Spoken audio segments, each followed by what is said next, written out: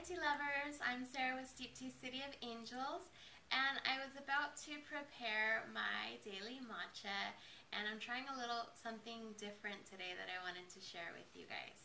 So at my local Sprouts, I promise I won't always talk about Sprouts because um, I, I love it, but um, I found this awesome uh, lactose-free kefir and it's a grade A low-fat pasteurized cultured milk. This one is green apple kale with hints of lemon and ginger and it's organic so I thought this this was really interesting because I love kefir cheese um, so this was very exciting um, for me to find and it's 120 calories per serving and it's about 17 grams of sugar per serving and it has about 7 grams of protein. So if that uh, is important to you, um, you know, the, the, things that I'm mentioning, then you might want to, if you have a Sprouts or uh, like a health food store near you, check and see if they have this, this awesome um, brand of kefir. So what I'm going to do, I also have um, some Isagenix. Um, I just bought this and I really, really love it because um, a lot of times I'm, I'm just like on the go, go, go, and I don't really make time to um, make prepare uh, healthy meals. So uh, in between, uh, as a meal replacement, sometimes I will have my uh, protein shake, my isogenics. I'm sorry, yeah, I thought I said that wrong. Isogenics.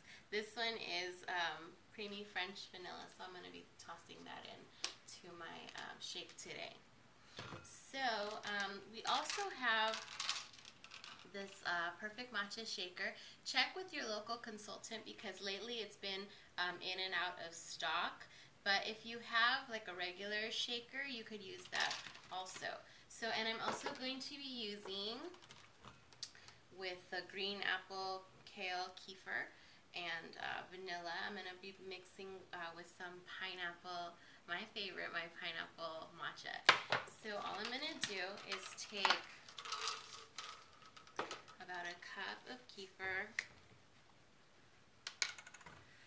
Oh, I forgot I have to shake it up first. Says shake well, so let me shake it up. Okay, and then I'm going to pour about a cup into my shaker.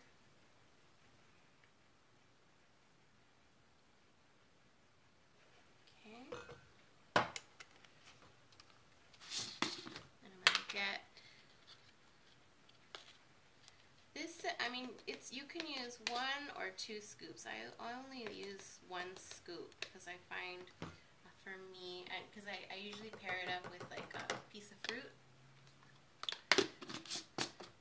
So, sorry if the, the table is shaking a little bunch too. So, and then I'm just going to take my matcha, and I have this little um, matcha scoop, and I'm going to use about a teaspoon.